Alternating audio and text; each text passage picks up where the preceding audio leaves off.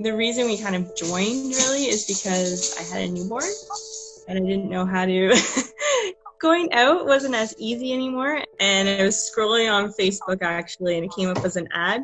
And I was like, well, what's this? And I clicked and I clicked and I clicked some more until I found the uh, hands on as we grow, I guess, challenges. And I think that night I bought some of the books that she put together.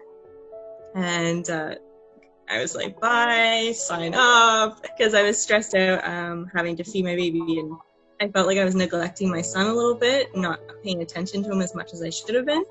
So it was kind of a, I need to find things to fill in the time for him so that he doesn't feel like this new baby is taking over his life. Um, so we're very, I'm very happy I stumbled upon it, and I think he is. He's doing a lot more things, and it's been nice because there's times when I just like stressed out and need something, and everyone needs to calm down. So uh, we always go to Facebook, and there's something or somebody else has either done the activity for the day or has done one from previous or comes up with their own. So there's always something to find, which I really like, and a little less daunting than Pinterest because you kind of get lost in the vortex that is Pinterest, and all of a sudden you're like learning how to cook chicken.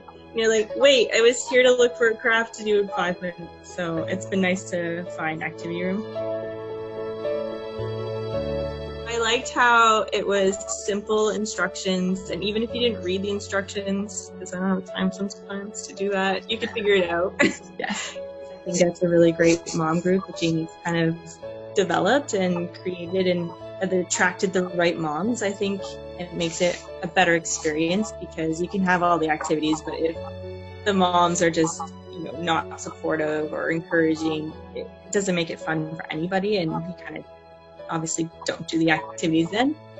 Um, and I like how there's always alternatives. So even though there's instructions that say this is how you do it, you'll find that 20 moms have different ways they've done it, which is really helpful because Pinterest shows you one way and sometimes you can't think of other ways. So it was interesting to have all those perspectives and alternatives and the women and men, if there are any out there, um, they're the least judgmental I've found in the entire world of online, offline moms ever.